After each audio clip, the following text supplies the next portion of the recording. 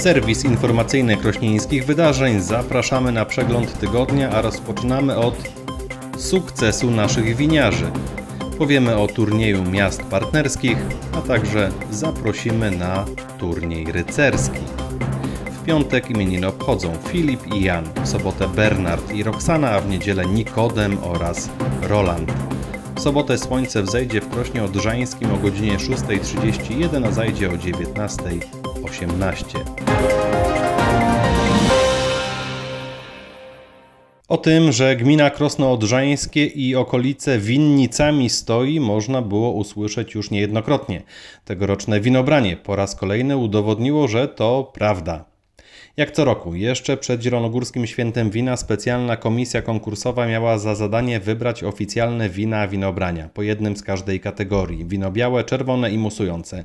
W tym roku w kategorii wina białego wygrał Riesling półwytrawny 2022 z winnicy Marcinowice.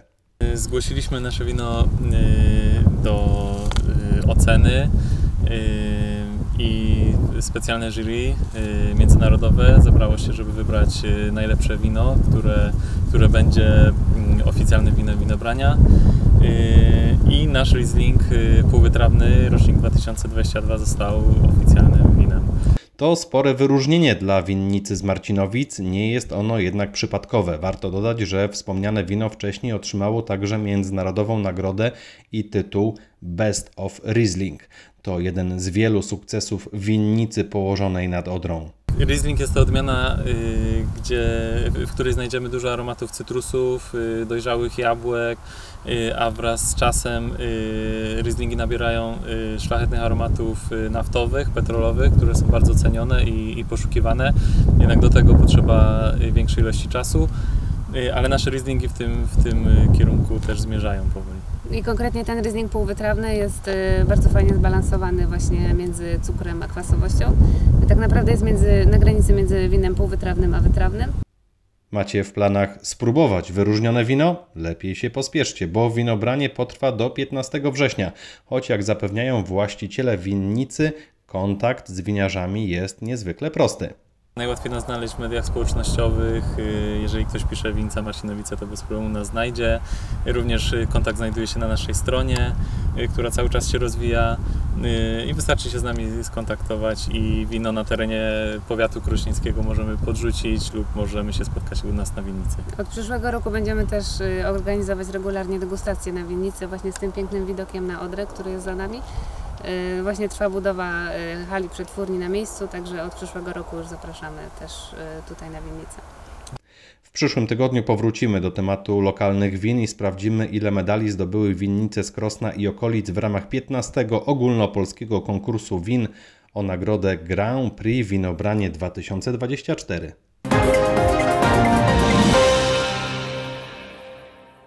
Integracja, przyjaźń, nawiązywanie kontaktów to określenia idealnie pasujące do turnieju miast partnerskich, który już od 2014 roku organizowany jest pomiędzy węgierskim Korcok, niemieckim Schwarzheide i oczywiście Krosnem Odrzańskim. Za nami dziewiąta edycja turnieju.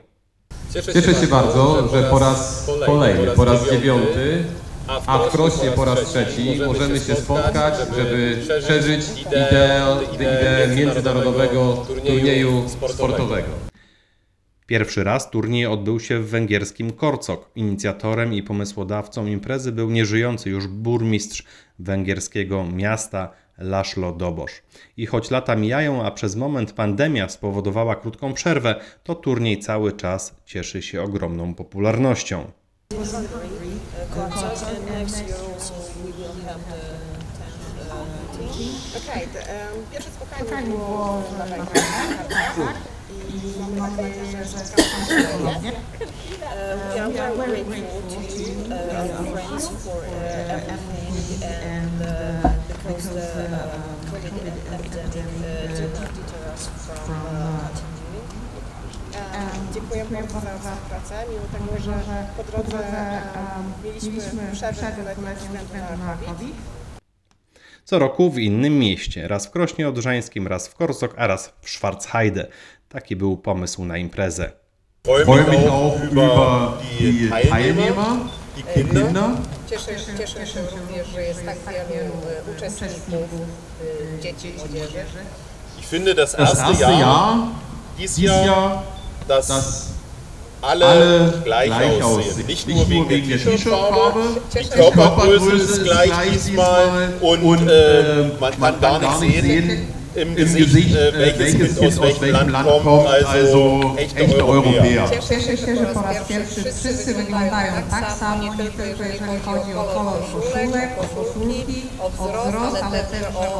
Cieszę Zmaganiom młodzieży przyglądała się również starosta krośnieńska, która w ubiegłych latach także była zaangażowana we współorganizację turnieju. Właśnie dzisiaj uświadomiliśmy sobie, że my organizowaliśmy pierwszą edycję tego turnieju. Część z Was dopiero uczyła się chodzić. E, To pokazuje, jak wspaniale ten turniej przez te wiele lat ewoluował, jak potrafiliśmy zintegrować wiele pokoleń młodzieży. W ubiegłym roku na niemieckiej ziemi najlepsi okazali się Węgrzy. Sport ma być jednak tylko dodatkiem do integracji młodzieży z trzech miast partnerskich. My jak byliśmy w piątek w domu, no to wieczorem graliśmy w siatkę i wszystko. No normalnie, no fajnie. Z grami. Więc fajnie było dosyć. I choć sport ma być tylko tłem, to jednak każdy po cichu liczy na wygraną. W tym roku gospodarze byli bardzo gościnni, ale nie na boisku. To właśnie młodzież z Krosna Odrzańskiego zwyciężyła w tegorocznej rywalizacji. Drugie miejsce zajęła reprezentacja Korcok, a trzecie Schwarzheide.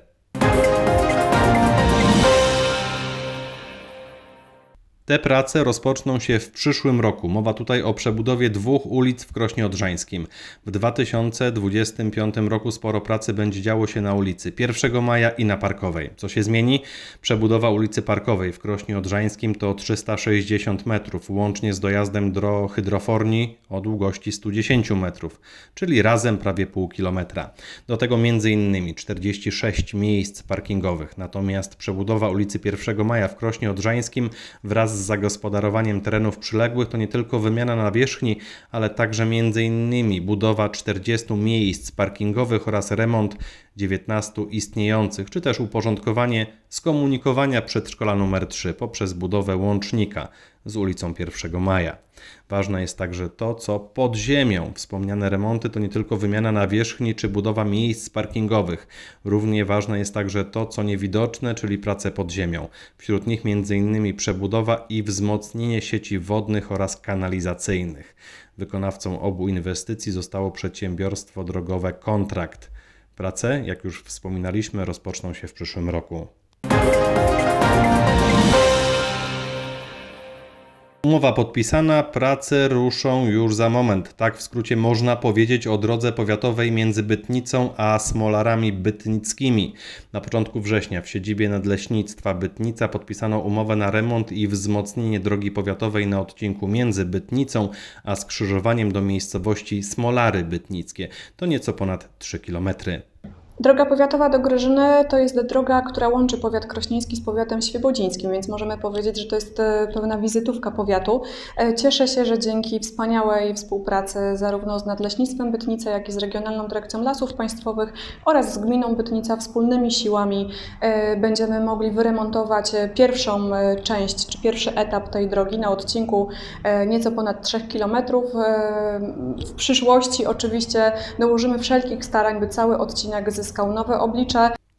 Ma być to pierwszy etap remontu drogi łączącej Bytnicę i Gryżynę. To ważna inwestycja dla powiatu, ale także nadleśnictwa Bytnica. Dofinansowanie z Funduszu Leśnego Lasów Państwowych wynosi aż 80% wartości całej planowanej inwestycji. To spory wkład. Co prawda jest to pierwszy etap, ale jest to tak ważna inwestycja ze względów przeciwpożarowych, ze względów gospodarczych, a także przeciwdziałając tak zwanemu wyłączeniu społecznemu, bo wiele osób e, e, po prostu oszczędzało swoje samochody i nie wybierało tej drogi, aby móc nią jechać. W tej chwili udostępniamy szeroki zakres, a przede wszystkim zakres e, dla wspaniałego wypoczynku. Wartość prac wynosi 3 miliony 116 tysięcy złotych. Dofinansowanie od lasów państwowych to nie wszystko. Pozostałe środki to wkład własny powiatu krośnieńskiego i dotacja z gminy Bytnica. Mieszkańcy gminy i okolic od dawna czekali na remont tej drogi. Wielu mieszkańców bardzo zabiegało o remont tej drogi. Jest tam występujący podłużny garb.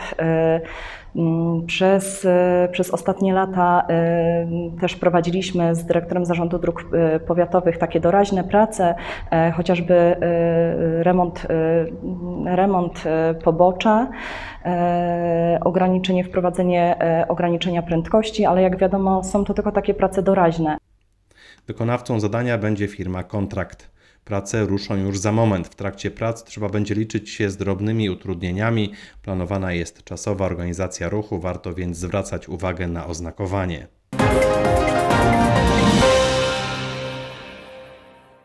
Wielkimi krokami zbliża się jubileuszowa, bo 15. odsłona turnieju rycerskiego o pierścień księżnej Jadwigi Śląskiej w Krośnie Odrzańskim.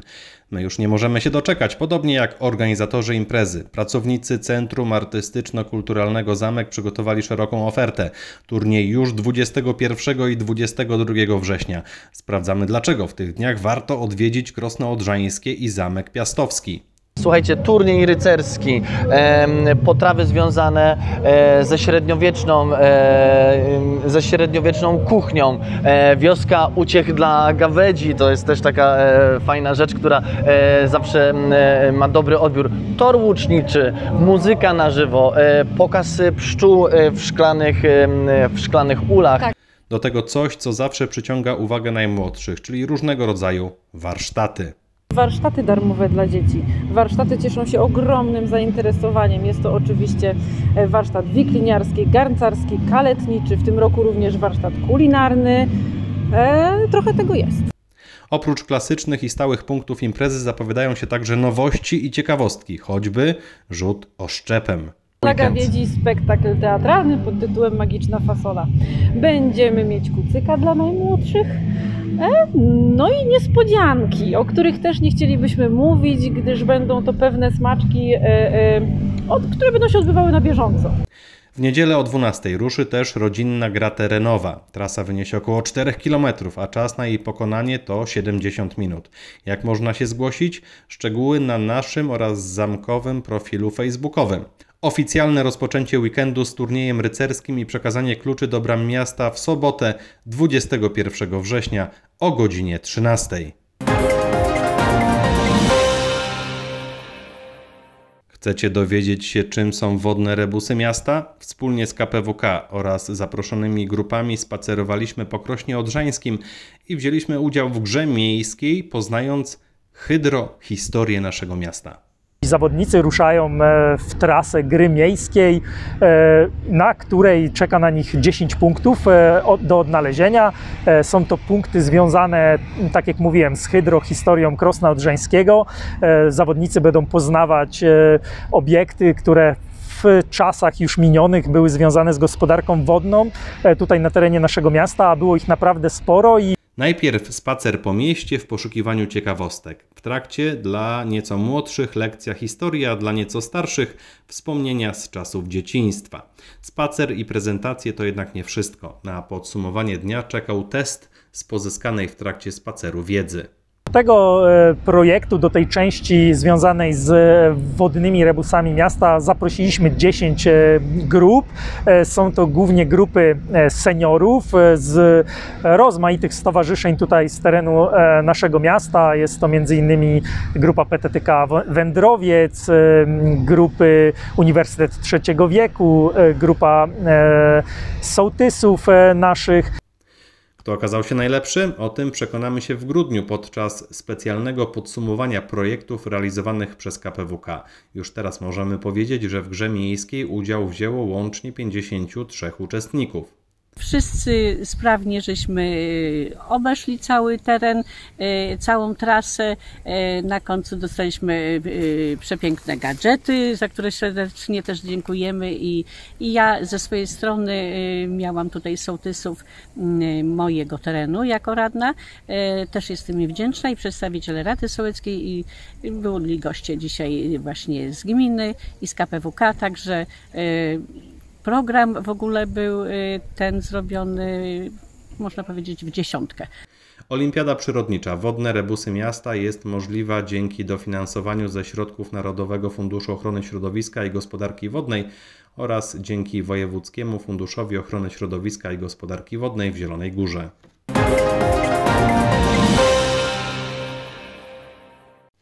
Choć grzybów w lesie niewiele, to jednak grzybobranie się odbyło. Festyn w Nowym Raduszcu po raz kolejny przyciągnął sporą liczbę mieszkańców gminy. Przede wszystkim dlatego, że jest różnorodny. Tytułowe grzybobranie było zaledwie jedną z wielu atrakcji przygotowanych przez Sołtys i Radę Sołecką. Licytacje, gry i zabawy, wata cukrowa, dmuchone zamki, przejazd motocyklem czy specjalny pokaz strażacki. Tego dnia w Nowym Raduszcu wiele się działo.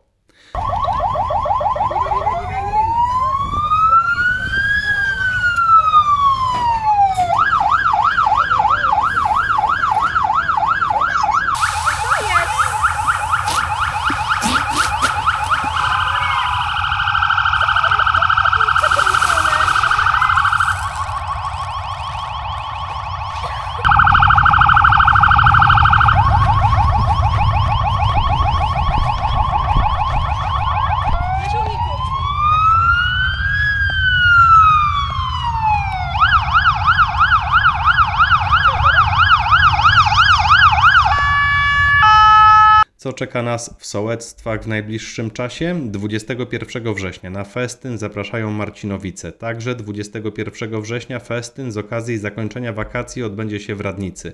O tych imprezach więcej już w przyszłym tygodniu.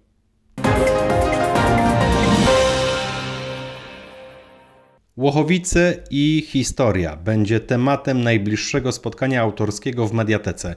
Po wakacyjnej przerwie do Mediateki wracają spotkania autorskie, najbliższe już we wtorek, 17 września o godzinie 17. Głównym gościem będzie pani Beata Bojanowska, autorka książki Gniazdo, historia Łochowic we wspomnieniach, dokumentach, fotografiach. 17 września o godzinie 17 zapraszam Państwa do Mediateki na pierwsze powakacyjne spotkanie autorskie z Beatą Bojanowską. Spotkanie będzie dotyczyło jej książki pod tytułem Gniazdo, historia Łochowic we wspomnieniach, dokumentach i fotografiach. Ci z Państwa, którzy nie mieli okazji uczestniczyć w tym spotkaniu w Łochowicach, które miało miejsce w wakacje, serdecznie zapraszam do Mediateki. To spotkanie będzie kolejną dobrą okazją, by poznać historię miejscowości leżącej tuż obok Krosna Odrzańskiego oraz osoby z nią związane. Dowiemy się także skąd wziął się pomysł na powstanie tej książki, a chętni będą mogli zdobyć jeden z egzemplarzy. Spotkanie autorskie w najbliższy wtorek, 17 września o godzinie 17 w Krośnieńskiej Mediatece.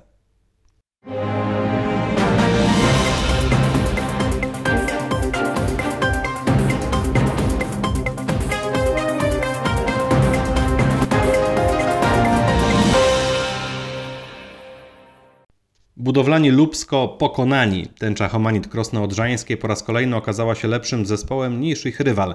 Minimalnie zaledwie 1 do 0, ale co najważniejsze bez straconej bramki i z kolejnymi trzema punktami na koncie. Tak wyglądała piąta kolejka zielonogórskiej klasy okręgowej w wykonaniu piłkarzy Multicolores. Cieszy zwycięstwo, jak każde zresztą, natomiast sposób grania nie do końca. W pierwszej połowie szczególnie mieliśmy problemy troszkę z długimi piłkami, zbyt późno odpadaliśmy i tutaj na pewno czeka nas też troszkę pracy. Kolejna rzecz to mieliśmy też problem z rotacją e, pomocników, e, czy inaczej graczy ofensywnych Lubska, stąd też momentami były problemy. E, myślę, że w drugiej, gdybyśmy jedną z akcji, które mieliśmy wykorzystali, no to byłoby nam dużo łatwiej. Za ekipą z Krosna Odrzańskiego 5 meczów rundy jesiennej. Cztery razy kończyli te spotkania zwycięstwem. Odnieśli zaledwie jedną porażkę w drugiej serii gier na stadionie miejskim w Iłowie. Z 12 punktami na koncie zajmują czwarte miejsce, ale w tabeli jest niezwykle ciasno. Lider Piast Iłowa ma na swoim koncie 13 punktów, natomiast zespoły z miejsc od drugiego do piątego tracą zaledwie jeden punkt. Jak można podsumować te kolejki? Po raz kolejny, tym razem na nieco dłużej, oddajemy głos trenerowi pierwszej drużyny tęczy, który profesjonalnym okiem spogląda na minione spotkania.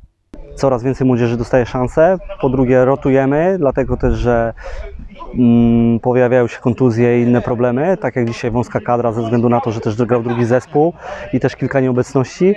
E, natomiast e, no nie były też łatwe mecze. Wiadomo, teoretycznie u siebie gra się łatwiej, ale te mecze na wyjeździe naprawdę były trudne. Z Piastem Miłowa przegrany 3-0, natomiast paradoksalnie był to jeden z lepszych naszych meczów.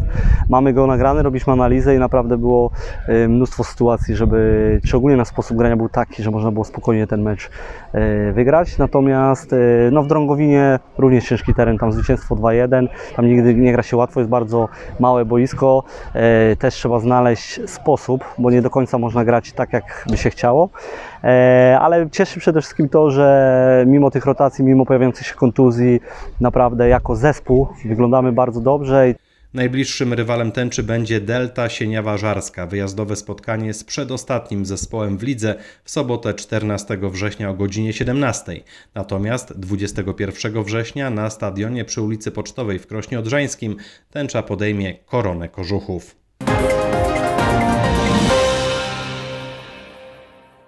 Krosna Odrzańskiego do Japonii, a konkretnie do Takasaki. Taka droga już w październiku będzie czekać na Maksymiliana Wysoczańskiego, zawodnika klubu sportowego Jaguar w Krośnie Odrzańskim. Będzie on rywalizował w Mistrzostwach Świata w karate Federacji JKA. Max ma już za sobą kilka treningów.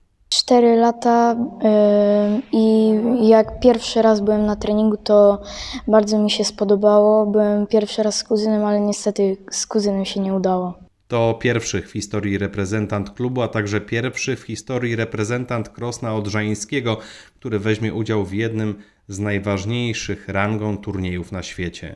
Jeszcze y, nie był ani reprezentant Jaguara, ani Krosna Odrzańskiego nigdy uczestnikiem Mistrzostw Świata, Japan Karate Association. No jak to się stało, no trzeba sobie zasłużyć.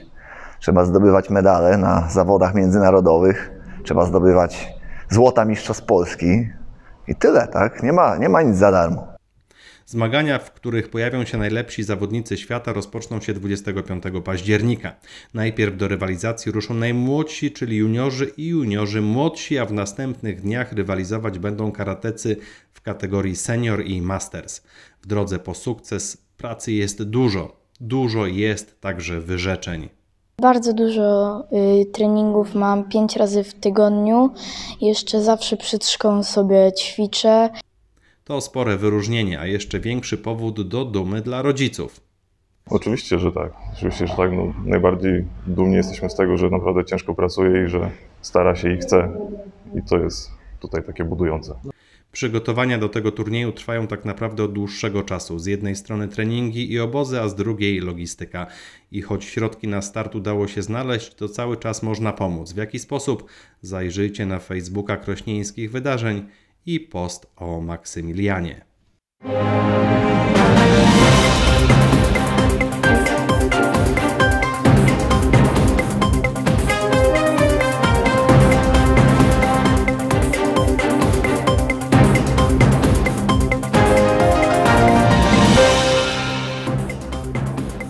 Mokry i chłodny weekend przed nami. W sobotę termometry wskażą 18 stopni, do południa możliwe niewielkie opady deszczu. W niedzielę chłodniej będzie 16 stopni i przez cały dzień możliwy przelotny deszcz. W nocy za to ciepło, bo aż 12 kresek powyżej zera.